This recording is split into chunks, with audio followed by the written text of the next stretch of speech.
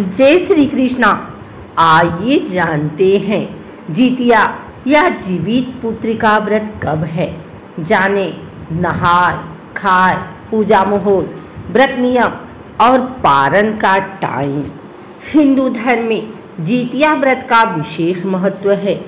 इस दिन महिलाएँ संतान प्राप्ति और उनकी मंगल कामना के लिए जीवित पुत्री का व्रत रखती हैं। मान्यता के अनुसार जीतिया का व्रत तीन दिन तक चलता है। जीतिया व्रत की शुरुआत सप्तमी तिथि से होती है और इसका समापन पारण के साथ नौमी तिथि के दिन किया जाता है। जीतिया व्रत अश्विन मास की कृष्ण अष्टमी तिथि को रखा जाता है। अष्टमी की तिथि पर पूरे दिन निर्जल व्रत रखा जाता है। इस दिन जीमूत वाहन के पूजन का विधान है। इस साल जीतिया व्रत 6 अक्टूबर 2023 दिन शुक्रवार को रखा जाएगा।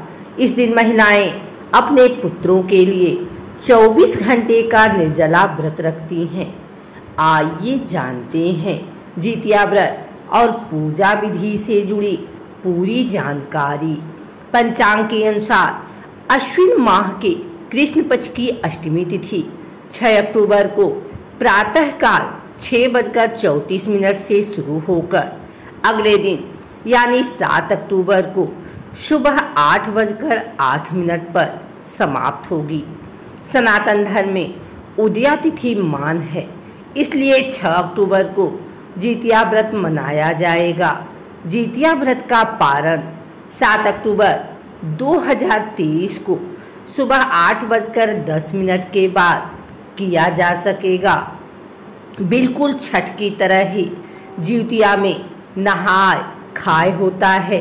इस दिन महिलाएँ सुबह सुबह उठकर गंगा स्नान करती हैं और पूजा करती हैं। अगर आपके पास आस पास में गंगा नहीं है तो आप सामान्य स्नान कर भी पूजा का संकल्प ले सकती हैं। नहाय खाए के दिन सिर्फ़ एक बार ही भोजन करना होता है। जीतिया व्रत का नियम क्या है? छठ के व्रत की तरह ही जीतिया व्रत से एक दिन पूर्व नहाय खाए किया जाता है। इसमें व्रती स्नान आदि और पूजा पाठ के बाद भोजन ग्रहण करती हैं और अगले दिन निर्जला उपवास रखती हैं। इसीलिए नियम के तहत नहाय खाए के दिन भूल कर भी लहसुन प्याज, मांसाहार या तामसिक भोजन नहीं करना चाहिए। हालाँकि कुछ महिलाएँ मछली खाने के बाद जीतिया व्रत रखती हैं। जीतिया मिथिलांचल की नेपाली विवाहित महिलाओं और पूर्वी और मध्य नेपाल की थारू महिलाओं का एक महत्वपूर्ण त्यौहार है।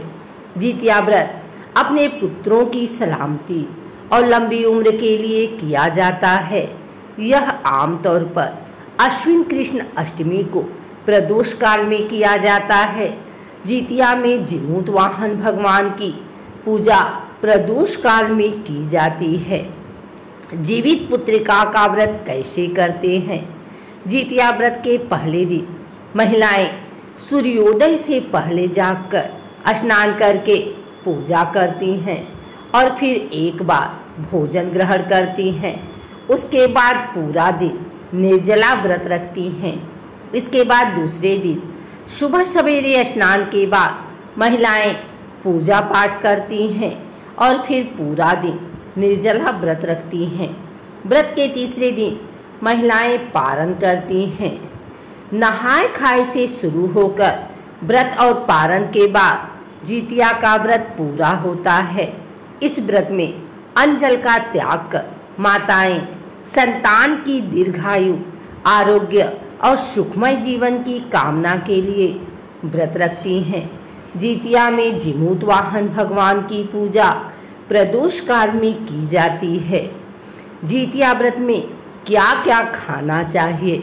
इस अवसर पर महुआ की लिट्टी, गेहूँ के आटे का दूध, पिट्ठी, देसी मटर, करी, झिंगली, तोरी की सब्ज़ी, अरबी की सब्ज़ी नोनी साग पोई साग के पकौड़े, काशी फल की सब्ज़ी, खीरे का रायता और न जाने कितने व्यंजन खाए और खिलाए जाते हैं।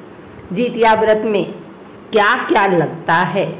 जीतिया व्रत के तीसरे दिन महिलाएँ पारण करती हैं। सूर्य को अर्घ देने के बाद ही महिलाएँ अन्न ग्रहण कर सकती हैं। मुख्य रूप से जीतिया पर्व के तीसरे दिन झोर भात, मरुआ की रोटी और नोनी का साग खाया जाता है।